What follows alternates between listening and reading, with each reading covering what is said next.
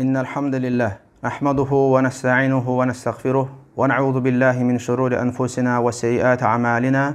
من يهده الله فلا مضل له ومن يضلل فلا هادي له. وأشهد أن لا إله إلا الله وحده لا شريك له وأشهد أن محمدا عبده ورسوله.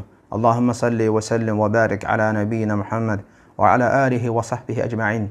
اللهم علمنا ما ينفعنا وانفعنا بما علمتنا وزدنا علما.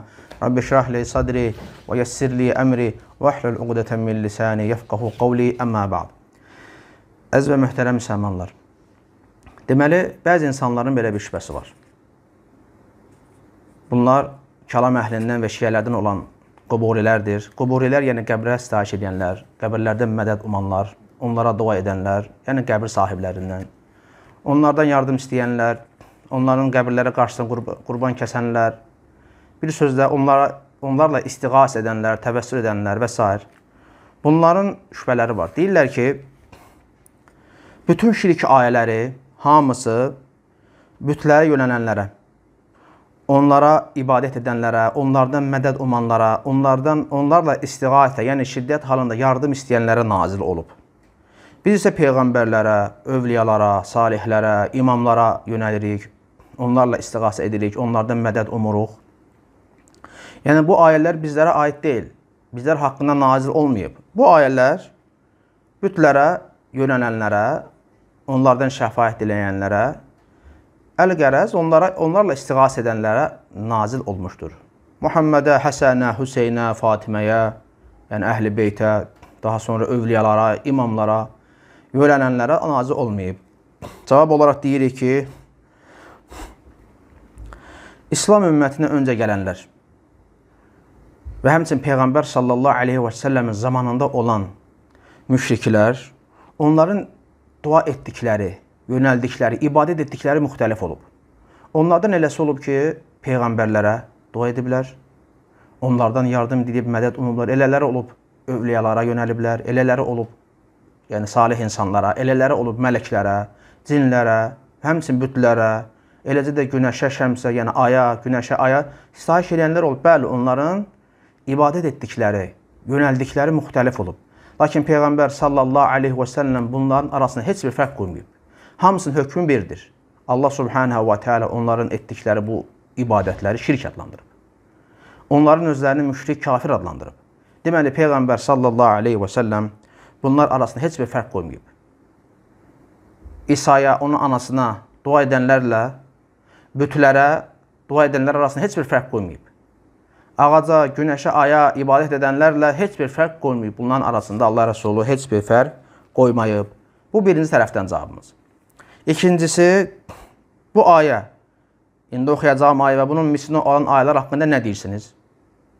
Allah Subhanahu və Teala Həc surəsi 73-cü ayədə buyurur ki, İnnellezîne ted'un min dunillahi len yahluqu zubaban velau ictema'u leh.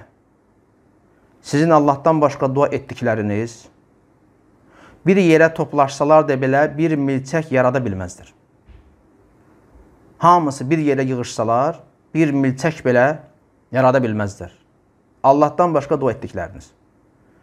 Burada bu vəsf bütlərə şamil olunur yoxsa yox? Yəni onlar, bütlər, milçək belə yarada bilməz.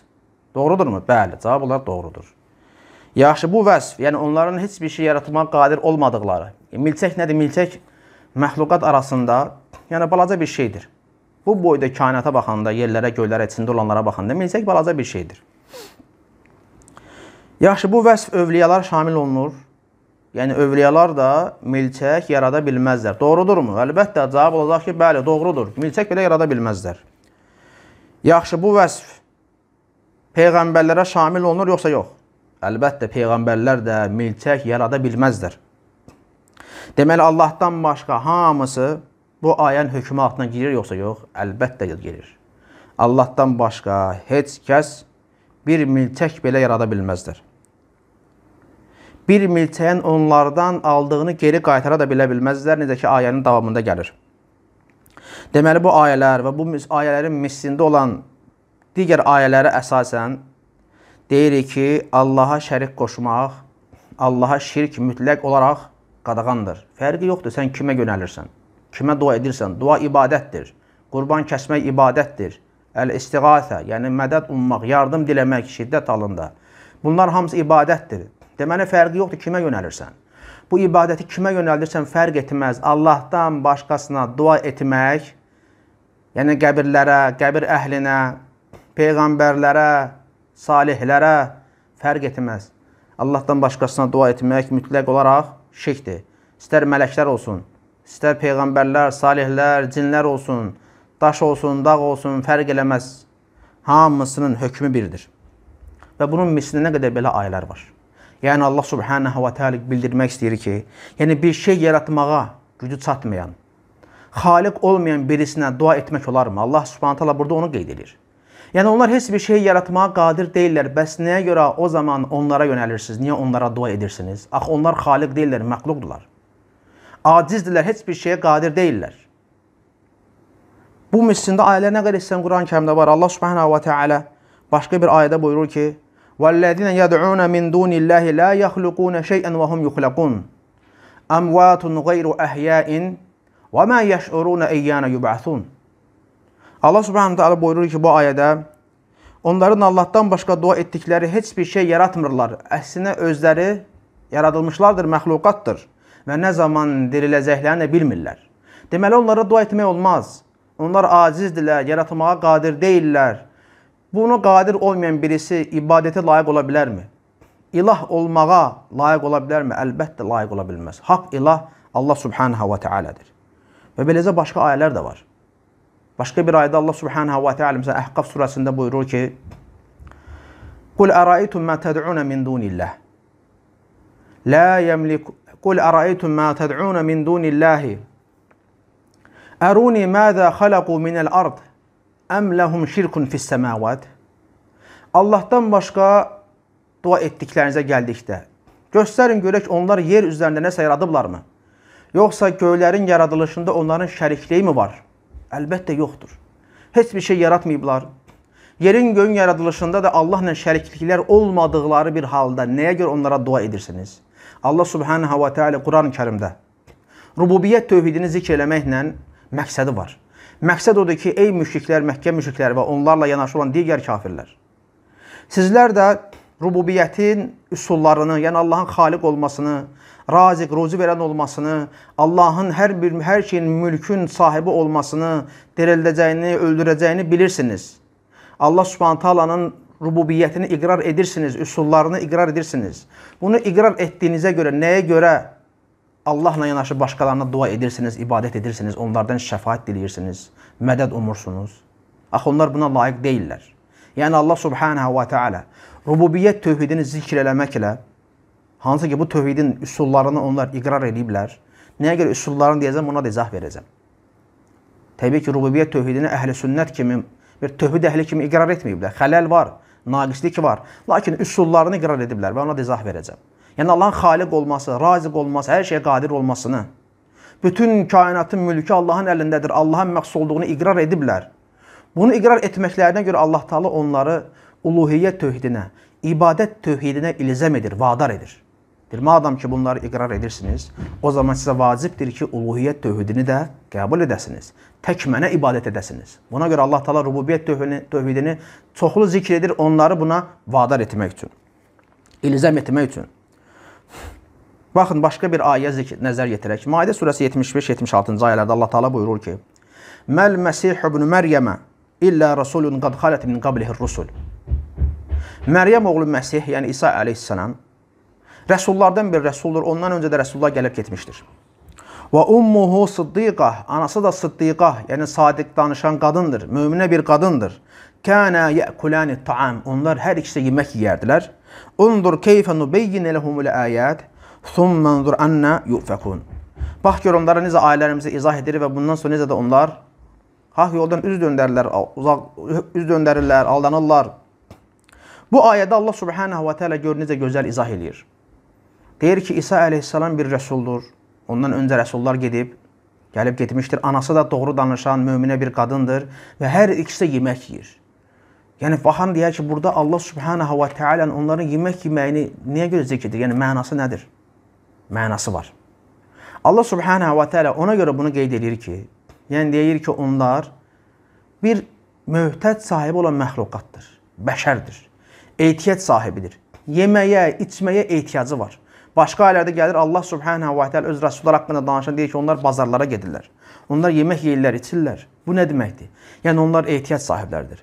Möhtacdır. Möhtac birisi birisi dua olunmağa layiq olar. İbadət olunmağa layiqdirmi? İlah seçilməyə layiqdirmi? Əlbəttə yox. Ayənin davamına fikir verin. Allah Subhanahu va Taala buyurur ki: "Qul ata'budun min dunillahi ma la yemliku lekum darran və la naf'a vallahu huves-semi'ul alim." De, sizə bir zərər və xeyir verməyə sahib olmayanlara, malik olmayanlara nəyə görə ibadət edirsiniz? Allahdır eşidən və hər şey bilən. Deməli İsa əleyhissalam və onun anası sənin halından xəbərsizdir. Səni eşitmirlər onlara dua etdiyin zaman. Və, və sənin haqqından heç bir şey bilməzlər, xəbərsizdirlər. Hər şeyi bilən Allahdır. Deməli sən hər şeyi eşidən, hər şeyi görən, hər şeydən xəbərdar olan, hər şeyin elmi onda olan, hər şeyi bilən Allaha yönəl. Allaha dua elə. Səni eşidən də odur, sənin duava cavab verən də odur. Və aciz olan birisi, möhtac olan birisi dua olunmağa layiq deyil. Heç bir şey yaratmağa qadir olmayan birisi dua olunmağa layiq deyil. Allah subhanahu və teala bu ayələrdə bunu izah eləyir. Bu ayələrdə bunu zikr etməkdən məqsədi də budur. Rububiyyət tövhidinə malik olmayanlar, sahib olmayanların uluhiyyətdən heç bir payları yoxdur. Yəni ibadətdən heç bir payları yoxdur. Allah subhanahu və teala bax buna görə rububiyyət tövhidini onlara zikr edir. Təbii ki, rububiyyətin naqislikləri də var, onlara da toxunacam. Və belə ayələr çoxdur. Deməli, bu ayələr sənə onu göstərir ki, Allahla yanaşı heç kəsə dua etmək olmaz. Allahla yanaşı heç kəsə ibadət eləmək olmaz. O şey ki, ibadətdir. İbadət tərifi altında daxildir. Onları Allahdan başqasına yönətmək olmaz. Ehtiyac sahibi olan, möhtəc olan birisinə dua etmək olmaz. Allah subhanahu və teala adlarından biri Əs-Saməddir. Əs-Saməd nədir? Əs-Saməd seyidliyində, ağalığında kamil olan birisidir deməkdir. Əs-Saməd yeməyə, içməyə ehtiyacı olmayan birisidir. Əs-Saməd mənalarından hər kəsin ona ehtiyacı olan mənasını, hər kəs öz ehtiyacını Allaha qəsd edir. Allaha qəsd edib ona ehtiyaclarını bildirirlər. Bax, Əs-Samədin mənaları budur. Bu addan peyğəmbərlərin, salihlərin payı var? Yox. Və bu adın təfsirinə, tərifinə baxmaq istəyənlər, yəni təfsir kitablarına Qul huvallahu əhəd, Allahu saməd, yəni İxlas surəsinin təfsirinə baxa bilərlər. Deməli bu ayə və bu ayənin mislində olan bütün ayələr göstərirlər ki, bizə onu bildirir ki, xaliq olmayan birisi, heç bir şey sahib olmayan birisi, aciz olan birisi dua olunmağa layiq deyil. İbadət olunmağa layiq deyil. Başqa bir ayə baxın. Allah Subhanahu və Teala buyurur ki: "Qul ud'u'llezine za'amtum min dunillah la yemlikun miskale zerratin fi's-semawati ve la fi'l-ard." Və mə ləhum fihimə min şirkin və mə ləhu minhum min zahir. Əhqaf surəsində. Daha doğrusu Səba surəsində Allah Taala buyurur ki: Allahdan başqa məbud saydıqlarınızı çağırın, onlara dua edin, çağırın. Onlar yer üzərində, yəni səmalarda və yerdə zərrə qədər də bir şeyə sahib deyillər. Malik deyillər. Göylərin və yerlərin yaradılışında Allahla şəriklikləri də yoxdur və göylərin, yerlərin yaradılışında Allaha yardımcı olanları da yoxdur.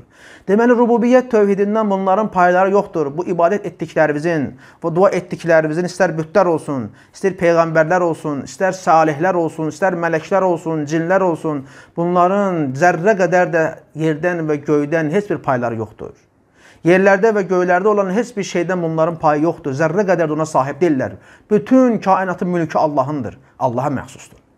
Yerin göyün arasında olan yaradılışında bunların payı yoxdur. Allahdan yardımcı olanlar da yoxdur. Şəriki olan da yoxdur. Deməli bunlara dua etmək olmaz. Allah subhanahu və teala bunu burada bildirir.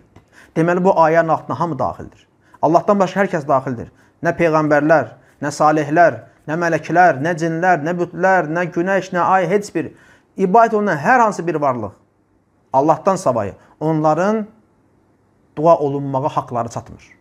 Onlardan yardım uma bilməzsən, mədəd uma bilməzsən, zaten səni eşitmirlər, səni görmürlər, sənin halından xəbərsizdirlər. Səni görən, səni eşidən və sənin halından xəbərdar olan, səni bilən, hər şeyi bilən Allaha yönəl, Allaha dua et.